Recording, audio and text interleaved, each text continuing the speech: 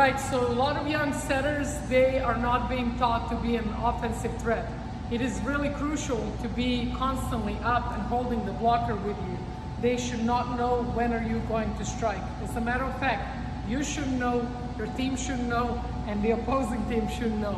What that means, you gotta go in with mentality to set, and the last, last second is when you are changing your mind, dropping your right arm, and pushing ball down with your left arm.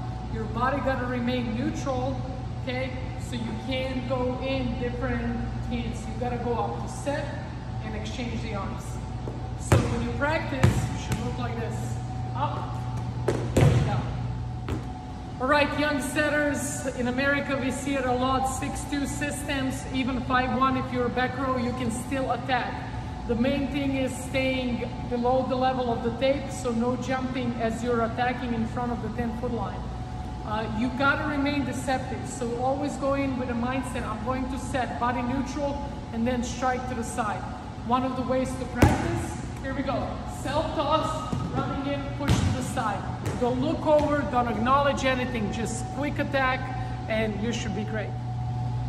Right setters, another way to attack is behind the blocker. This is especially effective if the blockers are tied together towards the middle coming in and you see the spot open.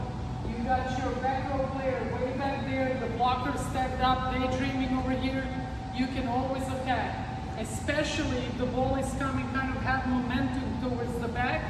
So if it's being passed on this side of the court, it doesn't have to be too tight. You're coming up the set, pushing it straight down behind.